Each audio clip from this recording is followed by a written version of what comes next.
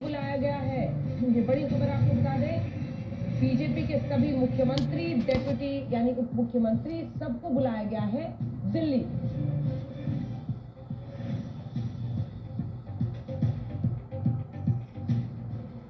खबर के साथ हम रुक रहे हैं स्पेशल रिपोर्ट में एक ब्रेक के लिए। देश दुनिया की बाकी खबरों के लिए आप देखते रहिए। आज। समन्वय के कुछ प्रश्न निर्माण हुए हैं, जिसको हमें पाटना होगा। जो हमने चिन्हित किए हैं और जल्दी ही हम लोग मुख्यमंत्री जी और उप मुख्यमंत्री जी के साथ बैठेंगे और बैठकर इसके ऊपर भी हम लोग निर्णय करेंगे। वहीं दूसरी तरफ़ उद्धव ठाकरे के चेहरे पर बिखरी मुस्कान को देखिए, जो बता रही है कि लोकसभा चुनावों में उनका प्रदर्शन उम्मीदों के मुताबिक रहा। इस प्रदर्शन ने टूट के बाद उनके साथ बची शिवसेना का जोश हाई कर दिया। अब महाराष्ट्र में महाविकास आघाड़ी का स्कोर देखिए। लोकसभा की 48 सीटों में से कांग्रेस को 13 सीट, शिवसेना उद्धव गुट को 9 सीट और एनसीपी शरद पवार गुट को 8 सीट मिली है।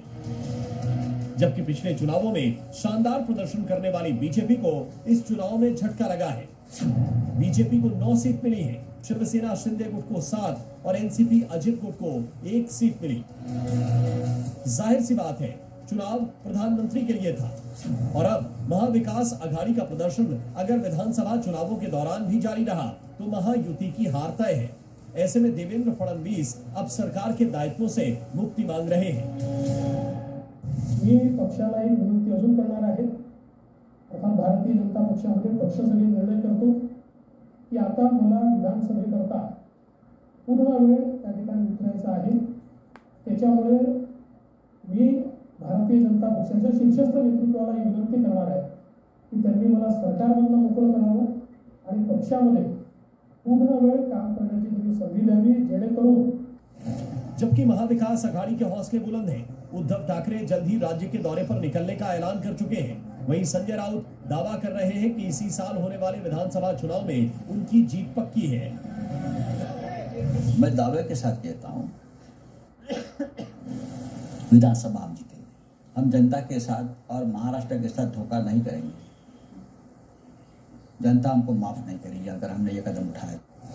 फ़िलहाल लोकसभा चुनावों के बाद बीजेपी महाराष्ट्र विधानसभा चुनाव की तैयारियों में जुटने के लिए तैयार है।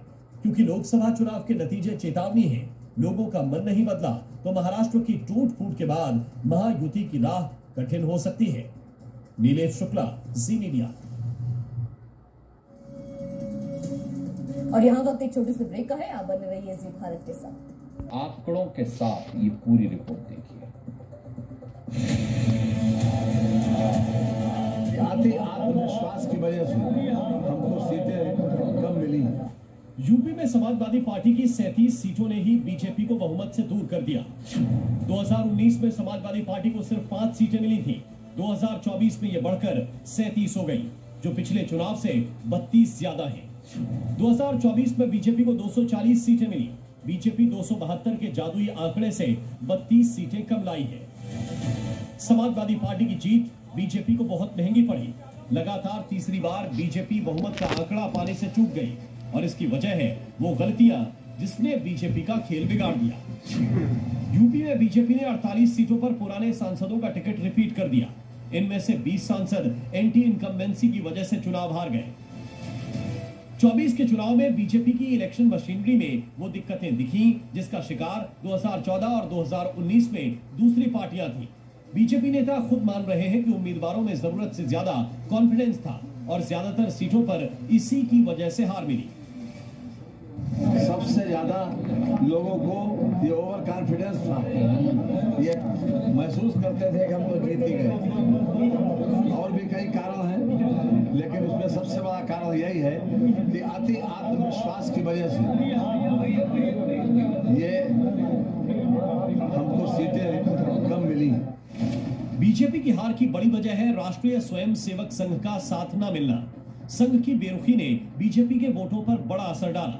पिछले दो चुनावों में संघ ने बीजेपी उम्मीदवारों को जिताने के लिए पूरी ताकत झोंकी, पर इस बार उम्मीदवारों को टिकट देने में राय न लेने के बाद संघ ने दूरी बना ली। जिसका असर प्रचार से लेकर वोटिंग तक नज़र आया। यही वजह है कि 400 पार का नारा दिए जाने के बाद बीजेपी बहुमत पाने से पीछे रह गई। बीजेपी के उलट अखिलेश यादव ने 2022 विधानसभा चुनाव के बाद ही अपनी रणनीति में बदलाव कर दिया। अखिलेश लगातार पिछड़ा दलित अल्पसंख्यक, यानी पीडीए का मुद्दा उठाते रहे। पीडीए के हिसाब से टिकटों का बंटवारा हुआ। आखिरी वक्त में प्रत्याशी भी बदले गए। अखिलेश ने यादव मुस्लिम के बजाय दूसरी जातियों पर फोकस किया। यूपी में समाजवादी पार्टी ने सिर्फ़ पाँच सीटों पर यादव और चार सीटों पर मुस्लिम उम्मीदवारों को टिकट दिया। कुल मिलाकर तीस ओबीसी सत्रह दलित, सात सवर्ण प्रत्याशी उतारे गए। यूपी में बीस फ़ीसद के करीब मुस्लिम मतदाता हैं। मुस्लिम आबादी वाली सीटों पर ध्रुवीकरण रोकने के लिए हिंदू उम्मीदवारों को टिकट दिया। बीएसपी ने भी बड़ी संख्या में मुस्लिम समुदाय के प्रत्याशी उतारे, पर मुस्लिमों के 90 प्रतिशत वोट इंडी गठबंधन को ही मिले। अब तक बीजेपी चुनावी फॉर्मूले इस्तेमाल करके जीत हासिल करती थी, पर इस बार विपक्षी दलों के चुनावी फंडे बीजेपी पर भारी पड़ गए। Bureau report Zee media. कलाए नतीजों से ऐसा लगता है कि देश में गठबंधन का दौर फिर से शुरू हो चुका है। ये गठबंधन का ही नतीजा है कि उत्तर प्रदेश में जाति और धर्म दोनों चल गया बीजेपी का धर्म तो यूपी में नहीं चला, लेकिन जिनका चला, उन्हें धर्म और जाति दोनों आधार पर सीटों का फ़ायदा मिला। मुस्लिमों ने बीजेपी के खिलाफ जाकर एक तरफा वोट किया।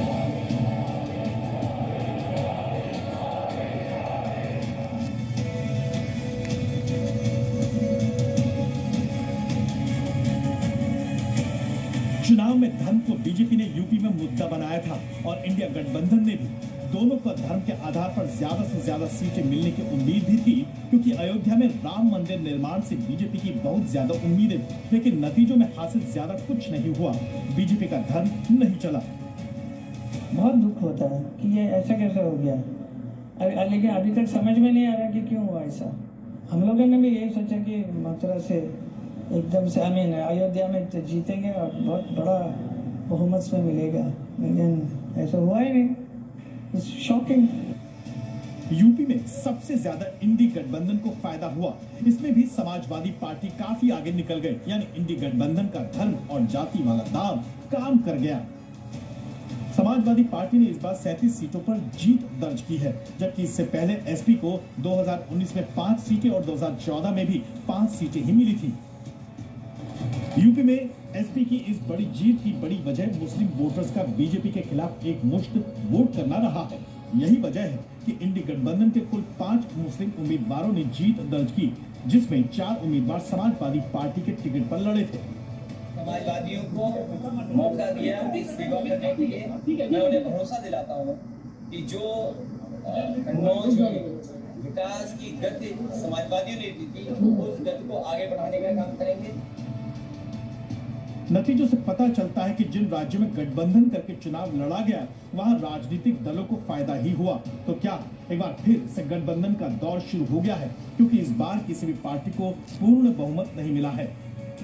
जबकि साल 2014 में दो सौ बयासी सीटों के साथ बीजेपी को पूर्ण बहुमत मिला था। ऐसा ही 2019 में हुआ, जब 303 सीटों के साथ बीजेपी को बहुमत मिला। बीजेपी सीटों के मामले में भले ही अव्वल है, लेकिन सरकार तो एनडी की बनेगी। यानी गठबंधन का वही दौर फिर से लौट आया है, जो 2014 से पहले चल रहा था। ब्यूरो रिपोर्ट मीडिया बीजेपी को उत्तर प्रदेश और पश्चिम बंगाल में सीटों का सबसे ज़्यादा नुकसान हुआ। यहाँ के मुस्लिम वोटर्स ने बीजेपी के खिलाफ एक तरफा वोट किया, जिससे इन राज्यों से मुस्लिम सांसद भी ज़्यादा चुने गए।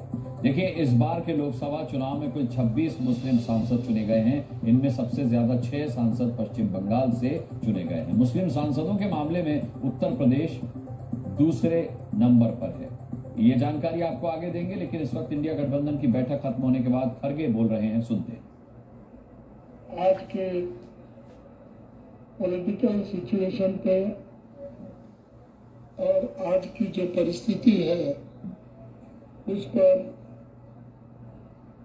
बहुत से सजेशन आए, चर्चा हो गई।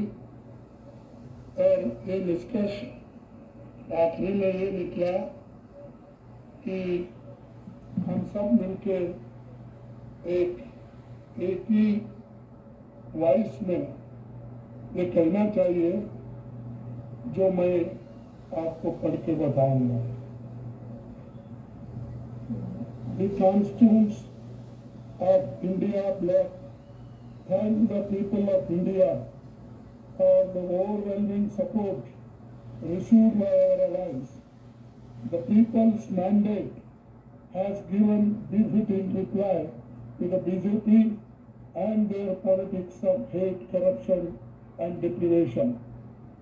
This is a mandate in defense of the Constitution of India and against viceroys, unemployment and crony capitalism and also to save democracy. The India bloc will continue to fight against the fascist rule of the BJP led by Modi. We will take appropriate steps at the appropriate time to realize the people's desire not to be ruled by the BJP's government and this is our decision and we all together agreed on these points and we definitely uh, whatever promises we have given to the people that we will keep it up and uh, just I want to tell this. Thank you very much.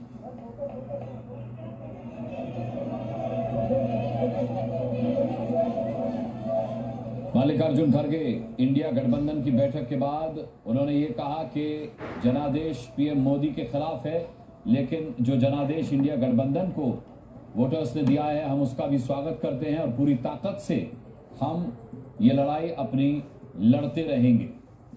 14 और 2019 में विपक्ष की कोई party इतनी सीटें भी नहीं ला पा रही थी कि संसद में नेता विपक्ष का पद पा सके। लेकिन इस बार विपक्ष ने न सिर्फ़ 232 सीटें जीती, बल्कि कांग्रेस ने 99 सीटें जीतकर नेता विपक्ष बनने की गारंटी भी हासिल कर ली। और दिलचस्प बात तो यह है कि 10 साल बाद आखिरकार विपक्ष इस बात पर मीटिंग कर पाया कि उसे सरकार बनानी चाहिए या नहीं, और आगे की रणनीति क्या होनी चाहिए। हालाँकि इंडिया गठबंधन ने सरकार बनाने का इरादा त्याग दिया है। लेकिन उसके तेवर देखकर ही पता चल रहा है कि इस बार मोदी सरकार को विपक्ष से कड़ी चुनौती मिलने वाली है। इसे ही विपक्ष अपनी जीत बता रहा है। और आखिर में हम बात करेंगे, लोकसभा चुनाव के परिणाम से बीजेपी को मिले एक बड़े संकेत की। ये संकेत महाराष्ट्र को लेकर है।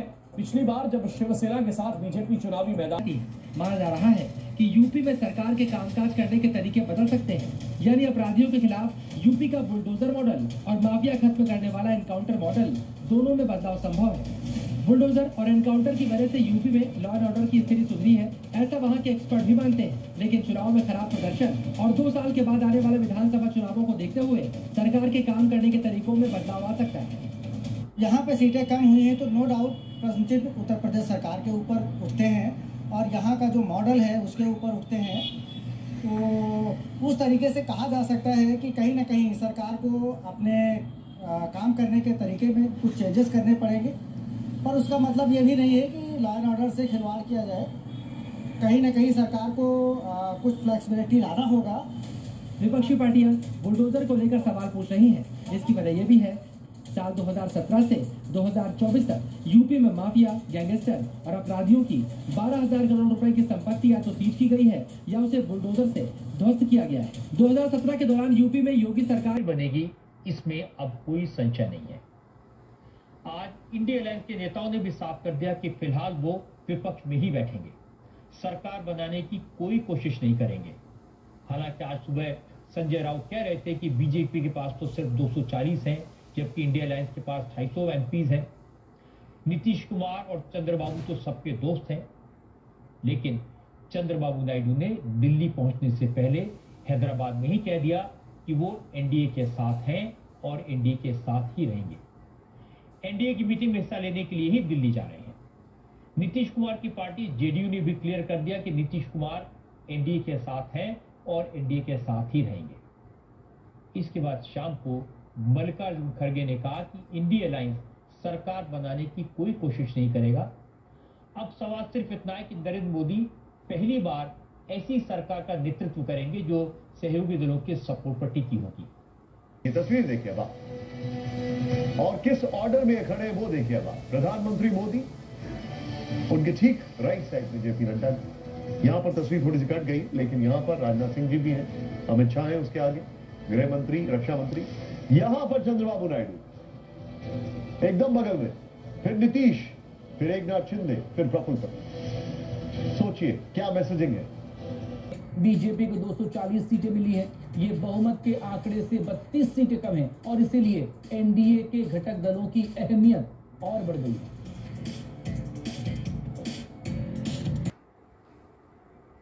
गोदी मीडिया का इकरार अब की बार? ਗਠਬੰਧਨ ਸਰਕਾਰ ਇਹ ਦਿੱਤਾ ਤੁਹਾਨੂੰ ਦਿਖਾ ਗੱਲਾਂ ਇੰਨੀਆਂ ਕੁ ਦੇ ਨਾਲ ਫੀਡਬੈਕ ਮੰਗ ਰਹੇ ਆ ਅੱਛੇ ਦਿਨ ਕਿਹਦੇ ਆਏ? ਜਿਹੜੀਆਂ ਗਠਬੰਧਨ ਸਰਕਾਰ ਦੀਆਂ ਐਨਡੀਏ ਦੀਆਂ ਜਿਹੜੀਆਂ ਪਾਰਟੀਆਂ ਹੈ, ਜਿਨ੍ਹਾਂ ਦਾ ਇੱਕ ਇੱਕ ਸਿਰਫ ਐਮਪੀ ਆਇਆ ਉਹਨਾਂ ਨੂੰ 100% ਬੈਨੀਫਿਟ ਹੋਏਗਾ ਜਾਂ ਨਹੀਂ ਹੋਏਗਾ? ਕੀ ਉਹ ਬਲੈਕਮੇਲਿੰਗ ਕਰਨਗੇ ਇਸ ਗਠਬੰਧਨ ਸਰਕਾਰ ਦੀ, ਜਿਹੜਾ ਮੋਦੀ ਜੀ ਨੇਤਰਤਵ ਕਰਨ ਜਾ ਰਹੇ ਨੇ ਜਾਂ ਨਹੀਂ ਜਾ ਰਹੇ?